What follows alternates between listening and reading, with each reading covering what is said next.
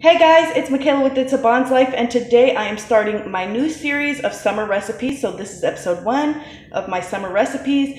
And when I think of summer, I always think of corn on the cob. So, usually I would use fresh corn, but I happened to be at Walmart and they didn't have any fresh corn that looked good.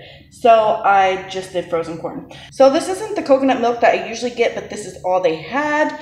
You're also going to need some garlic, some red pepper flakes, salt, pepper, and some seasoning salt. So, let's get started in making this dish. Put your corn on the cob in the crock pot and we're going to pour our coconut milk right on top. Once your coconut milk is on top, we are going to add our seasonings. A little bit of red pepper flakes. So you're gonna need at least half teaspoon to a teaspoon of salt. Probably gonna need about a half teaspoon of pepper. Probably about a half teaspoon of seasoning salt.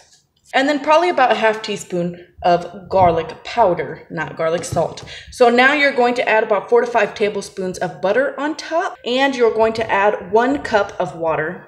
So after your seasonings are all in, go ahead and add your one cup of water.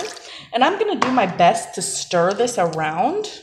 So now what you are going to do, put your lid on and you're going to cook this on high for two hours. So because my corn is frozen, I might give it two and a half hours. I don't know, just check it and eyeball it.